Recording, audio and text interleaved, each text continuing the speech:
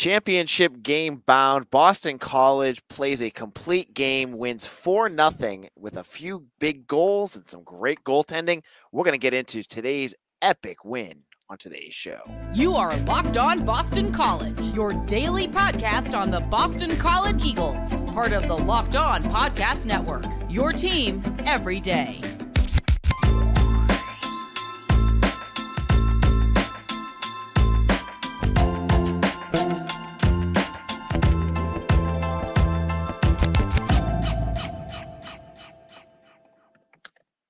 Hello and welcome, everyone. This is Locked On Boston College, your team every day. Big win today in BC hockey history as they're heading to the championship game. This is AJ Black. I'm the host of Locked On BC and editor of Eagle Insider. And joined today is my co writer, BC hockey blogger. I couldn't think of anyone better to bring in today to talk about this win. How are we doing today? Hey AJ, how you doing? Great win. Great oh, win it felt good. Um, as someone who is, has, you know, with kids and things like that, I have not been the best hockey um, follower. I watched this game and I forgot how stressful watching playoff hockey can be and, and tournament hockey. So watching this game for nothing, BC played well. They didn't play perfect, but they eke out the. They, not, it wasn't the eke out the win. They basically they had this by the third period. Tell me some of the things that stood out to you about this game. I mean, my my first thought on this game was their team defense and their goal and the goaltending they got from Jacob Fowler. That that Michigan team scores the third most goals in the country. Uh, they're probably the, the, the second best offense BC's played all year behind BU, and um, you know I thought BC did a really good job of keeping them to the perimeter. Uh, you knew Michigan was going to come hard in the third period. They did. Um, but it came down to limiting the grade A chances. And, you know, I, I couldn't have been more impressed by BC's penalty kill tonight. Uh, that's the, the not only the best power play in uh, college hockey, it's the best power play in college hockey over the last couple of years. I mean, they're 35.5%. That's unheard of. And uh, BC held them to 0 for 4. One was an abbreviated power play, but um, just an unreal effort from their guys, especially on the penalty kill. And I think, you know, BC's been fortunate to have some really good goalies, really good freshman goalies, especially over the last 10, 15 years. Um, they've got a really, really special one in Jacob Fowler, and he, he doesn't get the recognition that, you know, the, the, the four first rounders get, but he, I, for my money, he's the main reason why they're playing on, on the final Saturday of the season. So let's get into this game. Let's start this off. So Den, uh, not Denver, uh, Mm-hmm. Michigan. We're, I'm getting ahead of myself here. Mhm. Michigan goes ahead. You know they go. They start to put a little bit of pressure. They make a mistake, and Will Smith makes them pay. Mhm. And you know it's back and forth. And to Michigan's credit, they they put some good pressure on the Eagles early. But as you said, Fowler in that defense, I thought the defense was tremendous. The way that they were able to to to prevent Michigan from getting any really clean looks. They were always sticks everywhere, guys for you know with good checking and getting the puck out of the zone. Like there there was only a few times where I felt like Michigan had that going for them. But you get Will Smith going early. While we while we're talking Will Smith, who had two goals in this game, I, Mhm. let's start this early with a chance. I want to give you a chance, BC hockey blogger, to rant because I know you have some real thoughts about this, about Will Smith getting snubbed for the Hobey Baker. Here's your chance to to put it in audio format. Go for it. Uh, yeah, I mean, I, I, I, I wrote this last week. I think I think it's a joke that he that he's not uh, one of the final three guys. Jackson Blake, North Dakota, had a great year. Um, there's no denying that. But you look at the numbers. I mean, Smith Smith had, had a better season. Um, it, it's it's really not close. Not only did he have a better season, he had the the, the highest point production um, of any college hockey player since 2016. Kyle Connor, and I think he, he he's either tied with Connor now or he's one point off. Um, and he's obviously got another game left. So um, what he's done, he, he broke BC's freshman point record. He shattered it, record that I never thought would be touched. Um, you know, and, and everybody says, oh, he plays with two great players, but I, it's just ridiculous that this year that's seemingly became a big excuse to to leave him out of the Hobey. You know, it, so many good players in the past. Fantilli played with McGroarty and Brindley last year. You never heard anybody say, "Oh, he plays with two great players." Ryan Duncan in North Dakota played with Oshie and Jonathan Toews, two of the best professionals of, of our of my lifetime. Um, and it was never it was never brought up then. But for, for whatever reason, it's a, it was a an issue this year, um, and I, I, think they they cheapened his candidacy for whatever reason. Um, I'm not saying he should have won. You know, I, I, I don't know if he's if he's better than Celebrini and Cutter or more deserving than those two. But um, I wrote this week, you know, I figured he'd come out flying in this game, and he was great. After two tough games in the Providence Regional, he was one of the best players tonight. Um, and I think uh, I think the fact that he's not on the final stage tomorrow is is uh, a pretty big joke. So he scores the first goal, mm-hmm. and then we get to the second period, and you know that first period, it felt like Michigan had a lot of chances to to get that tie to to get the, right back into this and tie it. But it was in the second period that Will Smith hit uh, hits the second goal, to put them up two nothing, and then you're starting to feel things. Yeah. What what did you start to see about this team that made it feel like even though Michigan, I thought Michigan played their game as well as they could, mm-hmm. that BC had every answer to everything that they threw at them. I think that for me on the second goal, you know, you, you figured the se- you had the feeling the game was going. The second goal was going to be a huge goal. BC could get that second goal they would really, you know, grab hold of the game. And obviously, they got some puck luck. You know, was, I think Smith had the puck behind the net, centered it for Perreault, and it, it, hit it hit the Michigan defenseman and went in. Um, but I thought that over the course of the second period, they kind of sustained more offensive zone time than they did in the first period. They weren't as reliant on, you know, a transition offense. Um, and really, outside of their goal in the first period, I, I didn't think they created much. They had two horrendous power plays in the yep. first period. Um, got absolutely nothing going.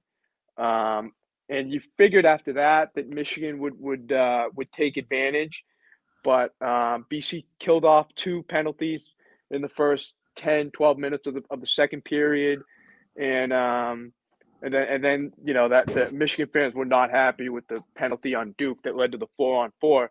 And BC scores two goals on the four on four. So um, and then as the game went on and BC extended their lead, you had to figure Michigan w- was going to really push, and they did, which led to some odd man rushes for BC. And um, obviously, Cutter, Cutter, just I couldn't I couldn't be more impressed with him. And I, I know he's a first round pick. I, he might win the Hobey Baker, but his growth um, as a as a, a defensive player um, has has uh, not been talked about enough. He he's been out when they've had the last change against Celebrini. He's gone out there and outplayed Celebrini.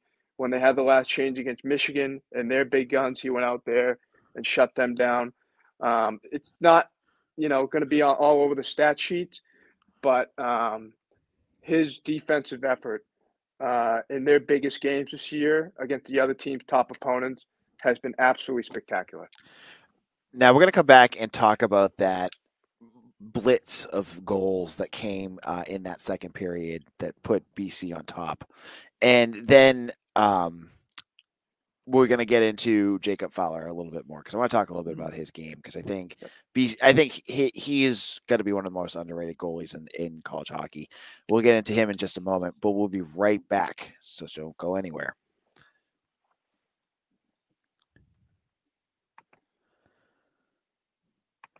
Your ride or die, it's passion, drive, and patience. The formula for winning championships is also what keeps it alive.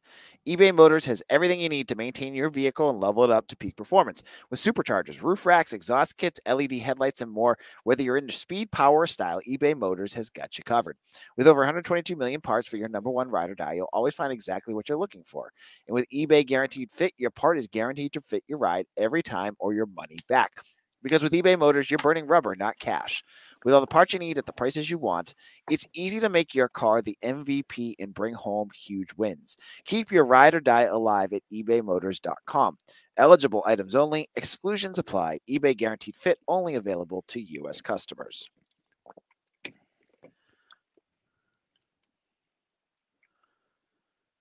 This is Locked On Boston College. AJ Black. We're talking a big win here for BC as they are heading for their 12th national title game, looking for their sixth star on the back of their jersey, their sixth national championship, where they're going to face Denver. Now, the star of this game, you may think Will Smith, and I wouldn't argue with you. Two goals, played excellent. You could say Cutter Gauthier, who had some great plays as well. But as we said in that first segment, you got to look at Jacob Fowler. Watching this game, you know, at the beginning, I was waiting for, you know, those goals. Like you're just waiting for them to score. And by the sec later in the second period, you just got the sense that nothing was going to get by him. Like he just never looked rattled. And um, Mitch Wolf tweeted a, a, great quote. And I would love your thoughts on this. He, you know, he was a student when Thatcher Demko was there, and he never thought he'd see a goalie as good as Demko until he saw what Jacob Fowler can do. What are your thoughts on that? I mean, I Fowler is is as good as I've seen. Uh, I'd, I'd have to look at at the numbers. Uh, we've been really spoiled with some unbelievable goalies at BC over the last 25 years. Schneider, Demko, Woll, John Muse won two national championships. Um, obviously, Fowler is, is continu- continuing that tradition. Spencer Knight's numbers, I I think, are better than anybody's, but I'm not I'm not 100 percent sure on that. Um, couldn't be couldn't be more impressed with him.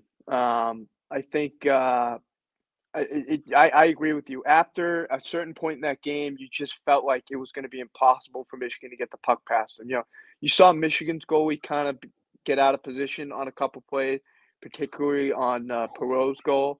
You never have that with Fowler. I mean, um, there haven't been many times this year when he's been caught caught totally off guard. Uh, when he sees the puck and he's got a good look at it, he's, he's more often than not going to make the stop. And um, they're, they're really they're really lucky to have him. But I, I, think he'd be the first to tell you that you know it probably it wasn't just him. I mean, I thought they got really good games tonight from uh, Minetian on defense. I've been so yep. impressed with the way he's played the last uh, let's call it you know six five six games. I did not think he was having a great second half, but the last three four weeks of the season, he's been maybe the best defensive defenseman. Uh, he's been uh, he saved a goal in the uh, in the second period on a cross ice pass. Michigan had deflected it, um, and you know overall, I thought they did a decent job of avoiding turnovers, of keeping Michigan to the outside, and um, when Michigan was able to, to get something in those grade A areas, Fowler, Fowler was there to make the stops. So I want to ask you a question because I watched this team and there was a statistic. Was there four guys on BC? Um, I know it's the three freshmen and Gauthier that are in the top 10 nationally in scoring. Yeah. You have Fowler, who is one of the best goalies in the country, and you have some excellent defensemen that are playing. Uh, Jim Paquette, who was once an uh, assistant, I believe, assistant AD at BC, says mm-hmm. he's watched a lot of college hockey and this is the best BC team that he's seen in 30 years. How do you feel about that? Well, look, I got one more game, but I, uh, somebody asked me that during the game tonight. Is this the best team that you've seen? And I, I think top to bottom, but no matter what happens Saturday, I mean, they're playing a great team. They could very well lose that game. They've already lost to Denver this year. Yeah. Um, but I, regardless, I mean, this is the most complete team I've seen. I mean, they're just uh, they come at you in waves. Uh, they have so many top end guys. Um, and when they make mistakes, they've got a great goaltender to back them up. But you look at every statistical category penalty kill, power play, goals per game, goals against per game. Um, really, the only category that they sh- that they struggle with is faceoffs, and it's you know I think they've gotten gradually better at them throughout the year. But it's the first two periods tonight. It seemed like Michigan was winning every faceoff. I was gonna say, I, um, I, noticed you mentioned that, and once you mentioned it, I was watching. I was going, "Ooh, that seems yeah. to be a, a, bit of a weakness for them." The numbers tonight were it was like 25-23, but man, I, I watching that game, it, it, it, did not feel like a, a draw in terms of the face-off. But um, top to bottom, I mean, they're they're um, they're as good as of a college hockey team that I've seen. Um, but we can we'll save the legacy conversations for Saturday night if they can find a way to pull it off. yeah, totally. But yeah, you're looking at this team and where they're where they're at right now. Um, it's in. I compare them back to when I was watching, like when my fandom was like the highest was the uh, the Gaudreau years, and mm-hmm. I look at that team and what I remember distinctly was you know Gaudreau and and and Kevin Hayes. Those were like the two yeah. big. But I look at this team and it's like, as you said, waves. It's like there, there's more than one line. There's more than a bunch of guys that can do it, and that's what impresses me the most. Is you got four guys that do what Hayes and Gaudreau did instead of just two. It's like you have double the amount of scoring power, just eh, top end scoring power that you had, you know, 12 years ago. So I think that's something that I just just someone who watches hockey has noticed. Uh, but it's been a lot of fun. Now, in our final segment, BC Hockey Blogger and I want to talk a little bit about the finals um, and what what he thinks of Denver. I know BC played Denver already this season and uh, any last thoughts that he has. We'll get into all of that in just a moment.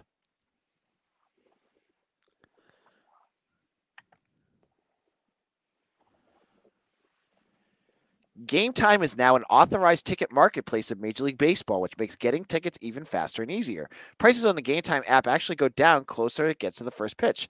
And with the way the Red Sox are playing lately, tickets are going to go down a lot faster than you'd expect. With killer last minute deals, all in prices, views from your seats, and their lowest price guaranteed, Gametime takes the guesswork out of buying Major League Baseball tickets. As I said, if you're thinking about going to Fenway, this is the perfect year to do it. Uh, Red Sox, uh, they uh, blew a, f- uh, they let up five runs in the tenth inning tonight uh, and lost again. Um, and uh, their hot start is starting to look in the past. But hey, if you want to go to a baseball game, Fenway's always a fun place to go, right? So head on over to Gametime you're going to get your seats. You'll know exactly where you're going to sit. You're going to get flash deals, zone deals, all sorts of great stuff. I love it. I used it to get BC football tickets. I'll probably use it to get some other tickets this summer as well. So take the guesswork out of buying tickets with Gametime. Download the Gametime app, create an account, and use code Locked On College for twenty dollars off your first order. Terms apply. Again, create an account and redeem code L O C K E D O N C O L L E G E. That's locked on college for $20 off. Download the Gametime app today. Last minute tickets, lowest prices guaranteed.